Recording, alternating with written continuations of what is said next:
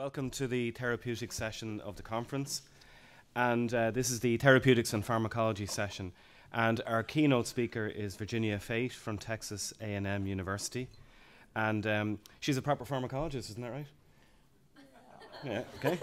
It's always good to have at a, a meeting like this uh, before she turned into the veterinary area. And she's going to talk about um, veterinarians and how they prescribe an evidence based um, prescription of drugs. Okay, so if we could have the IT working on the slides, please. Good morning. Hey. I I do I walk around a little bit, so that's why I wanted to ask for the mobile mic. So uh, hopefully I won't hypnotize anyone. Actually, that might be a good thing. So um, this is the last day of the conference. Everybody have a good time. It's been a great meeting, right? Everybody enjoying Dublin? Good. Me too. My family and I came last week. Um, we went down south to the southwest, and it's beautiful here. Beautiful. I want my son to come back when he goes to college and do some study abroad here, so I can come visit. So, uh, so I thought I had the shortest title, but I do not. The shortest title is Mike Collins' title, which is paratuberculosis. So in 45 minutes, we're going to talk about therapeutics and pharmacology. Actually, I'm just going to hit on a couple of um, high notes, and um, some of you. What do I need to point down there? It's the middle one there, in the green. No, no, to turn the push the Push the to go forward. Isn't it that? Just to know if I was pointing the right way. Okay, we need some IT. IT. Hello, it's me. Need to move the slides. Is, is there a way to? Oh, right. So some of you um, probably had um, pharmacology instructors who were. I'm not really a proper pharmacologist. Thank you for that. But um, I'm a what you call a clinical pharmacologist. Um, I was intrigued by. Um, was anybody in the food animal education session the other day? And um, Dr. Constable was talking about the model of teaching food animal um, skills and so on, and he talked about the the species specialist who then became something else, as opposed to the something else that then became a species specialist, right? So the pharmacologist became a bovine specialist, and the the, the better way is to do the be a bovine specialist first, and then become a pharmacologist. And I did, actually didn't do either, so I um I I I did some academic practice, what we call it. I did an internship, a food animal internship, and got really interested in cattle. Um, and then I went to graduate school and did clinical pharmacology in cattle. And I think the model of most clinical pharmacologists is they are species specialists and then get interested in pharmacology, which is, um, in my mind, how it should be. Um, but many of you probably uh, slept through most of your pharmacology sessions, or you uh, uh, pumped and dumped, right? You memorized a bunch of words and mechanisms and, and went, well, now I passed the exam and now I'm, I'm done. I don't need to remember any more pharmacology. So um, in medicine, they'll tell me what I'm supposed to treat with. So I'm, I'm, I'm just going to provoke hopefully a little bit of thought today about how you make decisions about drugs. Some of you, most of you are probably already doing most of these things, um, but I, I'm hoping to help you think about it systematically. Um, this is um, the temperature in, in my hometown today. So body temperature, perfect for, um, and I'm enjoying Ireland much more than, so uh, 25 is the lowest it'll be the rest of the summer. So um, I'm from New England originally, so this weather suits me a lot better. So, um, so just a couple of my main focus today. Um, I think veterinarians should be thinking about how they make decisions about drugs and not just saying, well, I saw this disease and therefore this is the, this is the therapeutic I'm going to choose. And then the other thing is pharmacology actually is a little bit important. So maybe you didn't learn it in your pharmacology course when you were in vet school, um, but I'm hoping that you'll see some of the important pharmacological principles that you should be applying, thinking about um, on a daily basis, including a, at least one or two things that are specific to cattle. So um, this is what I'm talking about. The um, let's learn all the drugs. That's the most important thing, and then we'll think about the cows. Um, and whereas I think a better model is let's start with the cattle. What is it that we're trying to do? What's the alteration in the patient? What's our therapeutic goal? do some thinking, that's what that little brain is supposed to represent, and then select our drug or um, choose a regimen along with the drug. So, regimen being everything about that describes how a drug is given. So we say pick a drug, it's not really just picking the drug, right? You don't just pick penicillin, you say, I'm going to give this dose, this route, this frequency, and this duration. Those are all things that could be varied and could make a difference in terms of um, therapeutic outcome. Um, I teach in a classroom that's sort of like this, only in stadium seating with no uh, aisles. And so um, I'm actually tempted to walk down. I'm not going to walk down the aisle, but if anybody has a comment or a question, there are people, there are um, microphones in the back over here. So just raise your hand and they'll bring a microphone over. I would prefer that you ask your question in the middle of the session rather than waiting to the end so we can have a conversation at the moment. So please feel free to raise your hand and ask or make a comment. so um, I may be wrong about this, but it's my impression talking with clinicians and practicing veterinarians um, that most of the time you make a drug decision without thinking about what the drug actually what the effect of the drug is going to be. And i don't mean what the mechanism of the drug is. I mean what difference do you expect the drug to make in the animal or group of animals in front of you? So that's what we call the treatment effect. So how much difference does the drug make? So animals that aren't treated 30% of them recover Animals that are treated, 60% of them recover. Then the treatment effect is the difference between those two, right? Not the 60%, it's 30%. Um, and so the epidemiologists talked about, talk about the estimate of treatment effect. And then I'm not going to talk a lot about this, but I think um, most most bovine veterinarians I think about think about this um, all the time, and that is population effect. So we don't just think about the mean, we think about the mean and the confidence interval around that mean. Um, and so that's what, what's meant by the measure of precision of the treatment effect. So I think it's probably going to help 30% of the animals that I treat. And I think the range is between 25 and 35. So um, Helen Higgins gave a couple of awesome presentations yesterday um, and talked about and asked some veterinarians about making decisions about um, treatments and thinking about what the confidence interval is around your how confident are you of that mean that you've or that drug effect that you've um, that you're assuming is going to happen? So um, just some things to think about. I'm not going to ask you to do any calculations. I'll do just one for you. So because i'm a pharmacologist we have to do some. So um, and i'll show you one peak case slide at the end. So so um, i picked this uh, just it was a, I was looking for a recent randomized controlled trial that was placebo controlled. So this is one of the first um, abstracts I found. So this is about gamithromycin. I don't work for a drug company and I, am not supported by one currently, so I didn't pick it for any particular reason. but it was a, a, controlled trial and the, this box in red is what I want you to look at, which is that the gamithromycin treated group, 86% um, and the outcome was um, showed no clinical signs of respiratory disease by 14 days after weaning. So this is metaphylaxis, so we're treating to prevent disease. or control, I suppose, animals at high risk of having respiratory disease. 61% of the placebo treated animals had no signs of disease. And so the treatment effect is not 86% right? The treatment effect is what? Yeah, it's 25%. So the difference the drug made was only in 25% of animals.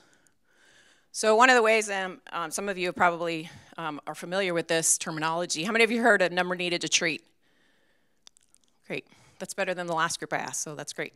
Um, and I'm by no means an expert on this measure. It's um, being much more commonly used in human medicine, particularly to compare therapeutics. It's reported much more commonly, um, and I think it's, it's a way we need to be going as in veterinary medicine. Um, and this is just how you calculate it. So uh, the number needed to treat is 1 over the absolute risk reduction. Absolute risk reduction is what we were just talking about, which is the difference between the treated and the untreated, or the treated and the placebo treated. So in this case, 86% minus 61%, and the inverse of that is 4. So this is how you interpret the number needed to treat.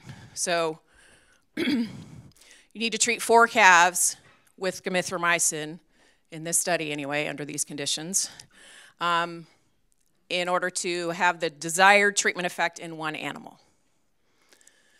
So it's a different way of thinking about it. Certainly a lot different than saying 86% success rate, right? Um, and I, that, that's the point I'm trying to make here. There are some diseases um, where the treatment effect is much more dramatic. There are some, what, what, what, what commonly treated condition in dairy cows would have a relatively small treatment effect in most cases? Anybody have a good example? Yeah, mastitis, especially staph mastitis, right? The treatment effect is very small. Doesn't mean we don't treat, but the number needed to treat is going to be relatively high. So um, let me just say there's no, there is no magical number needed to treat. So um, I've seen abstracts of human preventive studies where the number needed to treat was like 25. But we're talking about preventive, and then you start thinking about, well, what are the potential adverse effects of those treatments? Um, is, it, is it worth it to treat 25 people in order to have prevent disease in one. If that disease is a stroke, maybe. If it's a heart attack, maybe so. Yeah. So there's no magic number for number needed to treat. It's just an easy way, maybe, if you start wrapping your head around it, of comparing treatments, of thinking about what is it that you're actually doing and spending money on. Yes, Renee. So it, um, the question was, how is treatment success defined? And it depends on the, it's going to depend absolutely on the study that you're looking at. So in this case, treatment success was um, lack of respiratory disease at 14 days. So it's a metaphylaxis study. So uh, that's a great point, which is that treatment effect is defined by whatever the outcomes of the study are. So um, you need to make sure that this is why you read papers you don't just read the abstract, right? So you find out what the actual measures, outcome measures were that, um, that are associated with that treatment effect.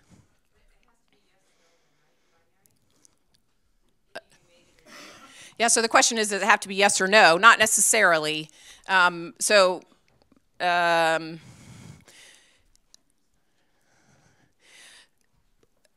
within an individual measure, it would have to be yes, no. So yes, the animals had a lameness of three versus a lameness of one, um, but the proportion of animals is what we're looking at within each of those. So yeah, so continuous variables, you end up having multiple number needed to treat depending on which point you look at. So it can get really hairy. Like this is not easy to do um, necessarily, and it's certainly not easy to ferret out. So um, I gave this presentation to or a similar presentation a while ago, and, and I pulled out three or four abstracts because I everybody reads full text all the time, right? So you do a quick PubMed search, CAB abstract search, you find three or four abstracts, read the abstract, and you try to pull out the data from the abstract to help you make a decision. Well, a lot of abstracts actually don't have that. It'll say um, uh, gamithromycin treated calves um, had less respiratory disease at 14 days, P less than 0.05. It doesn't really tell you what the treatment effect is, it just tells you that there was one. Um, or that there was a statistically significant difference between them. So that's a little bit different. So it's a different way of thinking about it, and it's a different way. So those of you that are researchers or write papers, um, there might be some areas where you could help clinicians make better decisions by actually reporting those things in an easier way to understand than just, well, they were, they were different. One was more than the other. Therefore, you should use this drug because one was better than the other. And that's probably not adequate.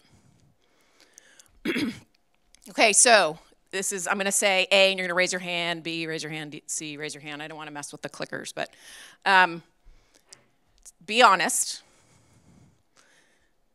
How often do you actually think about not does the, is the drug going to work, but what difference is the drug going to make when you are about to give or direct, write a protocol or whatever? How many of you think of it all the time? Okay? How about about half the time? How about almost never? Yeah, I think um, that almost never is probably the rest of you that didn't raise your hand and you didn't want to raise your hand. Maybe you said almost never, but no, you're still waiting for the translation. Maybe no. Um, I think we. Um, I think. I think you think that you think about it all the time, but I'm not sure that you really do. I'm not sure that you go well 86% versus 61%. So I'm going to need to treat four calves before I get the effect in one. Maybe you do. That's great. If you do, awesome. but that's where I think we need to be going. Um, and so because we're talking about making decisions about drugs based on information, where do we get our information? Many of us get our information based on our clinical experience, right? We call it clinical impression, we call it, um, call it whatever you want, but it's what I think happens when I do this thing. When I use this drug, this is what happens. Most of the time, some of the time, all of the time, none of the time. So um, I put this um, traffic light up to remind me to tell you a story about clinical impression, which has nothing to do with veterinary medicine. So, um, I was a late bloomer. I didn't go to vet school until I was in my late 20s. I was a psychology major in college.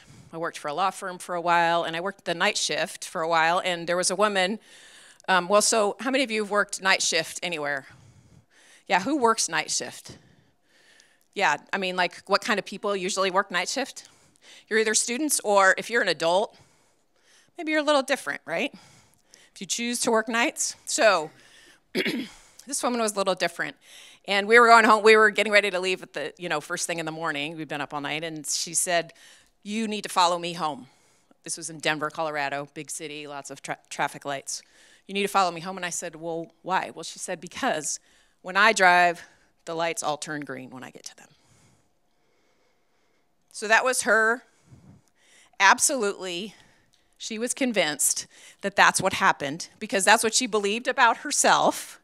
Confirmation bias, right? She believed that that's what happened, and therefore, every time there was a green light when she was at it, she believed it was her. That was so. So you laugh and it's funny and ha ha ha, but that's what we do, right? We see what we remember, what confirms what we already know, and we dismiss the things that don't don't that conflict with what we think we know about the world or drug therapy or whatever. So that's the, um, the essence of evidence based medicine. I, found this about a year and a half ago. Uh, I just know replaces the systematic review at the top of the evidence pyramid. So this is um, the Spud is kind of like a play on the Onion. Some of you are familiar with the Onion, which is a satirical newspaper out of Wisconsin, and um, so you know, the typical pyramid is expert opinion, case series, cohort studies, randomized control trials, systematic reviews, and then um, I just know, which is what this woman who told me to follow her home, she just knew that that was, that was absolutely true. So um, the point is that you can't just know, right? You have to be systematic, and that's the whole point of evidence based medicine. Um, so the problem is that we want to use our clinical experience. And we should use our clinical experience to help us make decisions, to confirm um, what, what we read in a paper or what a professor told us when we were in school, right? um, and so there's some really there's some really good things about personal experience. Um, personal experience can help you determine what the applicability is of the information. The problem is that the validity of that experience is relatively weak for the most part. So we have to be really careful about how we apply that information. If that's the only information that you use to make a decision, you're probably going to be wrong some of the time. So um,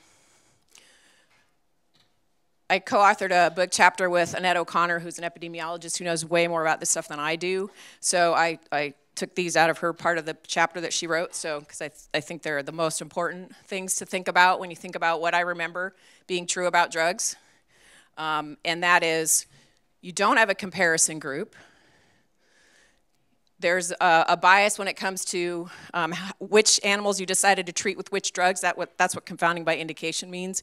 Means um, drugs were not randomly assigned to groups. You picked different drugs because they were more severe or less severe, um, or some other thing that, that adds a confounding factor to the outcomes. You lose many of those to follow up. I have cats. One of my cats is chewing all her fur off.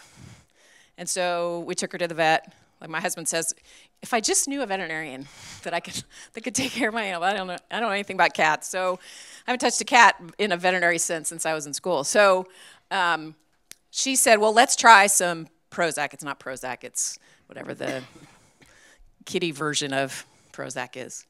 Um, and I tried it for like three days because I had to pill this cat, right? Twice a day and she was kind of she wasn't really tolerating the pilling and she was kind of a little stunned anyway after it. And so i stopped giving it and i didn't get a refill. So what do you think that veterinarian thinks? She thinks prozac worked great for my cat because i didn't call her back. So that's lost to follow-up. So the animals that maybe didn't respond you never hear about. They call another vet maybe. So and then, of course, um, the whatever outcome measure you might be using to determine success of therapy, if you know that you gave an animal a treatment, this is why blinding is so important because of the bias associated with um, determining outcome measures if you know who got treatment. So those are there are other things too, but those are the, the most important ones that should make you think, huh, maybe I don't remember as well as I think I do. Now, if you have records if you follow up on every case and then you go back through your records, that's not clinical experience. that's not clinical impression. That's that's data. So that's different than just what I think I remember, and every time I've used that, it it works. So, um, how many of you have seen this book, Thinking Fast and Slow? How many of you have read this book? Okay, the rest of you need to read this book. It's great. Um, very easy to read. Um, he's a Nobel Prize winner in economics. Don't let that scare you away. Very engaging. There's some uh, YouTube videos also with some short vignettes about some of the things that he talks about. It's about decision making. Um, and the, the theme of, the, of this, this thinking fast and slow is system one versus system two. Some of you have probably heard about that, right? System one versus system two. System one is the intuitive, automatic. System two is the analytical. Um, and so uh, in the human health field, there have been some investigations into actually in clinical decision making and um, and what systems are used and how they're used. And I think we need to do more of those in veterinary medicine. I think people are starting to do that. Um, but experts often use system one, and they're right. Some of the time, most of the time, maybe. Um, veterinary students have to use system two all the time because they're learning everything. So they have to do it systematically and analytically. That's why they take longer to make decisions and to think about things. That's one of the reasons. Um, but it's, it's more reliable um, for the most part. But I think this, this deserves some more investigation in, in the veterinary area. This is just a, a more um, detailed discussion as it relates to health decision making. Um, and this is about diagnostics and diagnosis. So um, we talk about pattern recognition, and that's um, goes into type 1 versus a pattern that's not recognized, and then so then we have to analyze that and so on. So just a little bit more detailed um, application of the system. Um, and this Croskerry has written several um, things about that, which I couple of them are here, and there's more um, work that he's done on, uh, I love this term, cognitive debiasing. So, um, how do you keep yourself from being biased, and how do you recognize bias that happens when you're um, assessing your personal experience when it comes to either diagnostics or therapeutics? So, there's some really interesting reading here. Pat Croskerry. This is in the human field. I think there's a lot of application. Clearly, some work needs to be done in the veterinary field. And so this is how you debias. First of all, you have to recognize it's like um, addiction, right? You first, you have to recognize that you have a problem. Hi, I'm Virginia. I'm a veterinarian, and I I trust my clinical impression. so. well, so and then, but then you say, well, if my clinical impression isn't accurate, then what am I supposed to do? Well, I'm supposed to read papers, except uh, replace newspaper with journal article, right? If you don't read journal articles, you're uninformed. If you do read them, you're misinformed, particularly if you only read the abstract. Um, but the information that you want may not be in there, or the population that you're interested in isn't what they studied in the paper. Um, and so we do have to read, but we need to be uh, critical about what we read. Um, this is um, words that mean truth. And um, this is Bob Larson's category of evidence based um, truth. What's more, what, what do we trust more and what do we trust less? We trust less, we should trust less from someone standing up here telling you, right? Um, we can trust a little bit more um, logical explanations, but those don't always work, right? There's several, there's a lot of um, examples of that in the human literature and veterinary literature about things we thought were true because they made sense, but they actually, as it turns out, don't make sense. Uh, crib death is the big, the big, one of the biggest examples. Logically, it makes sense that if you put a baby on their stomach, they won't aspirate on their vomit. But in fact, fewer babies die if you put them on their back when they sleep. So logically, it doesn't make sense, but that, those are the outcomes. Um, consensus, a little bit better. That's still a bunch of experts all with their own clinical impressions, but if you have enough of them that agree, perhaps it's accurate. And then the scientific method, of course, is our, um, is our gold standard. And so this is the, some of you, um, many of you are familiar with this. Some of you were in presentations yesterday about um, the steps of practicing evidence-based medicine and, and how you go about it. This is just a couple different ways of looking at it. Ask, analyze, appraise, apply, assess. Ask a question, find information to answer that question, apply that information, appraise that information, then apply that information to your patient or group of patients. Um, most of you are familiar with the PICO format, right? Patient intervention comparison outcome. This is how you ask a clinical question. You're not driving down the road thinking, huh, what do I know about Johne's disease? No, you're driving down the road saying, I'm going to see a client that has uh, diagnosed cases and now I'm trying to figure out what to do next. So I have a clinical question, I have a diagnostic question, I have a therapeutic question, I have a management question in mind. Um, I'm not just sort of randomly searching for information. So this way you can find the information that you actually really need. Um, I, I, put this the picture in here about um, use your library better um, or use your library often, excuse me. Um, I think use your librarian is what it should say. Those of you that are um, in veterinary schools, you can use your librarian. If you're not in a veterinary school, use the librarian that might be um, attached to your association, um, RCVS. Um, there are lots of ways to reach a librarian. Librarian isn't someone who catalogs books. Librarians now are information specialists. I just read a commentary yesterday, um, kind of perused it. A physician was talking about not being able to find, or a scientist was talking about not being able to find things and the literature wasn't good and he couldn't get access this and that and the other thing and he never asked an information specialist. So if he had broken his leg, he would have called an orthopedist. So if he has an information problem, he needs to call an information specialist. So I, I, highly recommend that you take advantage of any opportunity you have to work with information specialists to help you find things. Um, I'll put a plug in here for EBVM Learning for those of you that are not familiar with it. Very nice tutorials. And um, then RCVS Knowledge has these toolkits. Um, I have uh, also used a, um, this is a short version that I use with students on for critical appraisal of information that's found. Really basic questions that are relatively easy to ask. Students can't just read the whole article um, and ask lots of questions. So this is an easy way to appraise and then apply. If anybody's interested, um, I'm happy to send you a copy. Uh, but the main point of the is to think about what is the risk of bias and our ability to detect the bias in every type of um, study, article, research summary that you read. And that's the basis, to me, of evidence-based medicine is what's the risk of bias? That's what we're looking for. If, if, there's, a, if there's a high potential for bias in a particular source, then we're gonna, we need to trust it a lot less. So that's, what, that's why randomized control trials are good and case series are not as good, is because of the risk of bias. So that's the main um, thrust of that pyramid of um, levels of evidence. so the reason we ask a clinical question is that so we know how to, so we know why we're doing this, and we're doing this so that we can apply it to a clinical setting. So you answer your clinical question and then uh, make a recommendation. So in the case where our clinical question had something to do with metaphylaxis and gamithromycin, we would apply that evidence to say, um, perhaps, I think I'm going to use gamithromycin because it made a difference in um, in a percentage of animals, and I and I want it, and my client wants that, and I want that for them. Um, so that's the application. Is it a strong recommendation or a weak recommendation?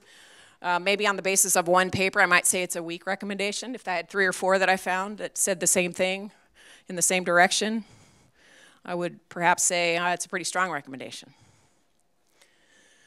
Uh, so a little plug here for um, those of you that are involved in research, um, that are creating the evidence that clinicians, veterinarians are trying to find to use to make decisions. Um, some, this is very brief, thoughts on um, what putting that putting your research into an evidence-based medicine context so that what you report in your paper is useful to the clinician. So just a few things here. Um, the first one is um, sort of self-evident, but I think sometimes we ask questions because there's money out there to answer the question, even though I'm not really all that interested in it, but they're going to give me money. Ron Baines, they're going to give me money. Um, so it, it's kind of an important question, but I need to write some papers because I'm up for tenure next year, so um, I'm going to attempt to answer that question. Or it's a relatively easy question, inexpensive question, whatever. It may not be an important question. Um, some of you are, are doing research on really important, clinically important questions, and that's great, but uh, we need to continue to do that. We need to use, attempt to use the most unbiased study designs what we can. You know, we always talk about in therapeutics, we talk about the, the gold standard is uh, the randomized control trial, um, and sometimes those are just really expensive. But if you're going to do other types of study design, you need to think about how to debias those studies as much as you can. Blind the um, investigators. Um, there are lots of ways to do that, but do the best that you can with the um, with the resources that you have. This, the third one is, you know, harks back to what we what I started out talking about, which is actually provide an estimate of the treatment effect. Don't just tell me they were different than each other. One was more than the other, and you know, p was less than 0.05. ta That's not really helpful, particularly if you're comparing drugs, which you often are. Um, most of you are familiar with reporting guidelines. If you're writing, if you're doing research, you need to be using reporting guidelines. So um, Consort, Reflect, Arrive, Prisma, these are all, um, and I saw a couple of great meta-analyses or systematic reviews yesterday that used the Prisma guidelines. Makes it easy to follow. We see where you, what you did and why you did it. Um, it's transparent, so I can see where the biases are. And then this last one I think is really important. Not everyone has access to a university library. So if you're, if you're publishing, you need to put it in an open access journal. It needs to be available around the world for free to the user. The user shouldn't have to pay, particularly um, government supported projects need to be in open access journals. And there are lots of them now, and many of them are, they're becoming less and less expensive, and there are some interesting payer models now that um, make it um, relatively easy to, to publish in a peer-reviewed but open access. So open access doesn't mean bad. There are really bad open access journals. There are some excellent open access journals. So, um, I didn't want to spend a lot of time on this, so our timing is good. Um, and that is uh, to remember that basic pharmacology is important for some of the decisions that you're going to make. I'm not talking about like the molecular mechanism of action. I'm talking about things like uh, route of administration and how it's different and what happens to um, and bioavailability of drugs as they're absorbed across through the skin versus um, intramuscularly versus intramammary and what concentrations can you achieve and so on. Um, I use, um, in teaching, I use this, we call it the drug decision making map. So most of you have a sort of a map in your head. Maybe you don't actually recognize it as a map. Um, but, but I think it's a useful way, it's certainly a useful way to, to talk to students about how to make drug decisions. So um, most of you probably, I shouldn't say that. Some of you probably took pharmacology from someone who said, okay, today we're going to talk about autonomics, and then next week we're going to talk about NSAIDs, and then week after that we're going to talk about uh, anesthetics. So you talked about it in the context of groups of drugs. Well, that's not really how we use drugs out of your truck in your clinic, whatever, right? You don't go, well, let's see, where am I going to use an NSAID today? No, you have a therapeutic need that you need to meet. So that's the essence of this is you start with what's wrong with my patient and what's my goal? What physiology am I going to alter in order to achieve that goal? And then what can I, how can I do that? What drug options are there? How do they work? That's sort of helpful. Um, but really, what are the options? And then I'm going to pick one or another of those, perhaps because of adverse effects, contraindications, and of course, the big one in food animals is legal issues. Is this drug even legal to use? Is it legal to use the way I want to use it? Is it going to cause a residue? Um, is it going to increase the likelihood of selection for antibiotic resistance? That's not regulated quite yet in, in that manner, but maybe someday it will be. Um, and then, um, and then we start talking about pharmacokinetics. What things might change if the patient is has kidney failure? Or what if it's a young animal versus an old animal? Do I need to change the dose? And then the, the other stuff that you learn about, you know, calculating um, doses and so on. And this one is the other really important one that I particularly want students to remember, but I think veterinarians need to remember too, which is kind of what we were talking about earlier, which is follow up. What's the, how do you, how are you going to know that the drug did what you thought it was going to do? and how are you going to measure that and assess it and keep track of it so that you can use that information to make a better decision next time around. Thank you. so uh, this is just to, to show you what that there are some basic principles. Um, they're not. This isn't very elegant by any means. This is my version of what are the important things you need to learn in pharmacology as opposed to just the list of drugs you need to learn in pharmacology. So a couple of important examples like concentration matters. You guys think, or like, what? What's that? Well, of course, I knew that, except then you forget it, right? How much drug is there makes a difference. So that seems like a, that's a bedrock pharmacology pr- principle that you may or may not have assimilated at some point along the way. It does matter how much you give, and it does matter how long you give it for, because the concentration required to have the effect that you want is important. So that's just an example. Um, uh, affinity of drugs for receptors might influence efficacy. So that's sort of like COX1 versus COX2 and understanding those things. So that's the underlying principle there. Yes, sir. I'm going to take you up on your offer to ask a question when it comes to mind.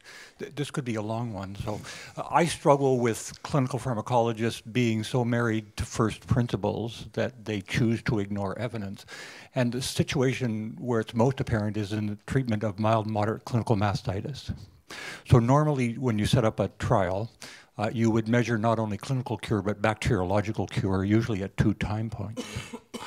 Uh, but the underlying principle that clinical pharmacologists have difficulty letting go of is that you should treat for a long time. Uh, and so to the point where if Dr. Ruegg, who's a mastitis researcher, he says, she says that in these cases, if you make the decision to treat, to treat for one to three days, the overwhelming industry acceptance is that you would treat for much longer than that, even though in the clinical trials you measure bacteriological cure, usually at two time points. And when I talk to clinical pharmacologists, they all sort of nod their head that you should treat for longer than one to three days. Well, I, am glad you brought that up because that is a one of those. Uh, that's a a number those out there. That, that's a dogma of pharmacologists and also clinicians. Um, talk to a small animal internist about treating UTIs, right? And there's, we do this many days because that's what we do and that's what we've always done. And there's data in the literature that says we should do it for this many days. Well, the data in the literature said when we did it for 21 days, we had this percent success. It didn't say, but if we only did it for 10, it was less. They just so there are very few comparative studies of um, duration of therapy that one you will not find on my important list of principles. So that may be true of other pharmacologists, but it, it's definitely not true for me. And I think it depends on, I mean, that's the whole point about decision making is to use the evidence to support. But the problem is, what you're talking about is for, for maybe for mastitis, there's some good evidence. For other conditions, we have less evidence to support one duration over another. There, there's, there's evidence that says if we do it for seven days, this is what we get. But there isn't evidence that says, but if we only did it for three or we did it for 12, we got different results. So, uh, great question. Um, and then I, this is the more or less the last thing that I think everybody in this room knows, and we always, this is kind of in the forefront of most of our minds, um, but I think it uh, deserves reminding, is that um, uh, if we're treating cattle, they're food animals. There are food products coming from them.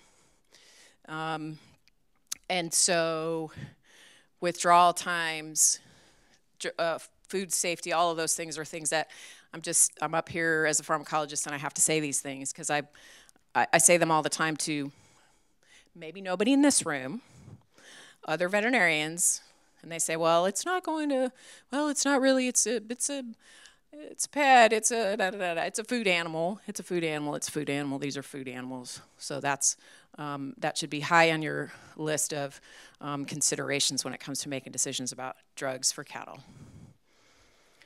That's just saying that again. It's not just about withdrawal time, also, it's about meat quality. This is injection site kinds of things. We talk about that a lot in the US about meat quality. Maybe someday we'll talk about antibiotic resistance, not residues, selection for resistance. I'm not advocating that, I'm just saying maybe we'll, we'll go there. Um, and then a final, this isn't really a principle, and, and people have alluded to this in other presentations in, during this meeting, and that is science is awesome, but politics rule.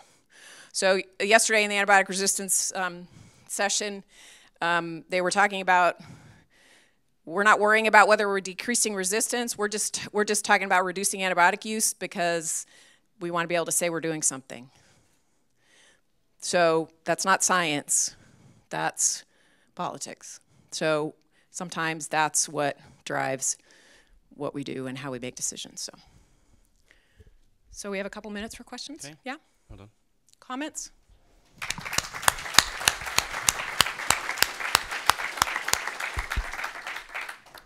Maybe I could start by asking you about um, in the way we teach pharmacology in UCD. They, they, we teach your principles.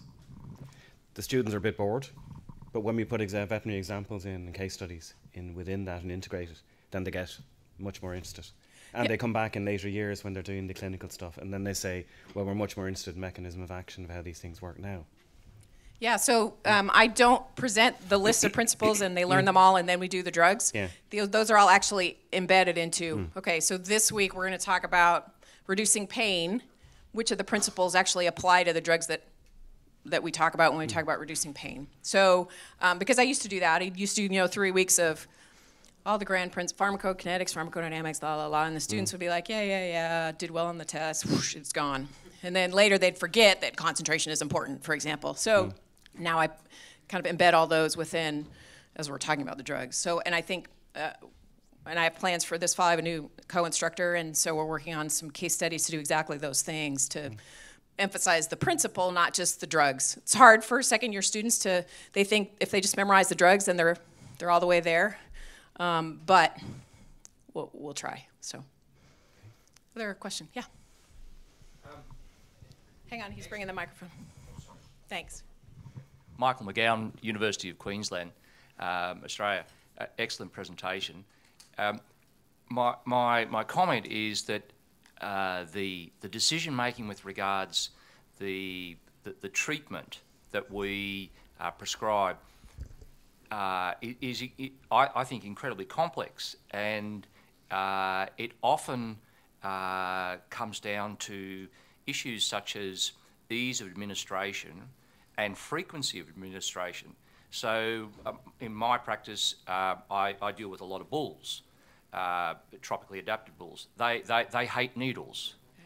Uh, so, uh, in, in cases of seminal vesiculitis, uh, the, the, the treatment we used to use was um, multiple injections of erythromycin. Uh, by the second injection, the bull was saw me coming. So the change and, and was to a long-acting macrolide that could be administered small volume uh, subcutaneously, and that and, and so you know th- that's just an example of how we knew that erythromycin was uh, the drug of choice, it, lipophilic, likely to penetrate, and there was we had follow-up evidence, but the decision to go to another was entirely about other factors. Except you started with, it worked. Right? Yes. I mean, you started with, with that, with uh, it's effective, or it has a treatment effect that's useful. And by the way, also it is long acting, we only have to give one injection. That's right. So you didn't start with, I have a long acting drug, what can I do with it, right?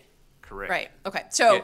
yeah. So that so the the decision tree I showed you is is relatively simplified for second year pharmacology students. It doesn't include things like economics and logistics and those things like you're talking about withdrawal time if you're you know treating dairy cows. So those are yeah I agree. Though those are those are all part of it. But you have to you're not going to pick a long acting drug because it's a long acting drug if it doesn't have a desirable treatment effect, right? Yeah. Yeah. Uh, uh, So, so the, this concept of understanding, which is what you've uh, talked about there, understanding a macrolide.